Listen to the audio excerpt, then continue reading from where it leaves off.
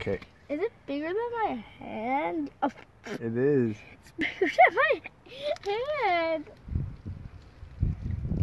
Do do do, just a normal. What the? Just a slug that's bigger than my You're hand. slowly moving. Actually, it's going pretty fast. Yeah. That's like it's stretch. So I'm stretching.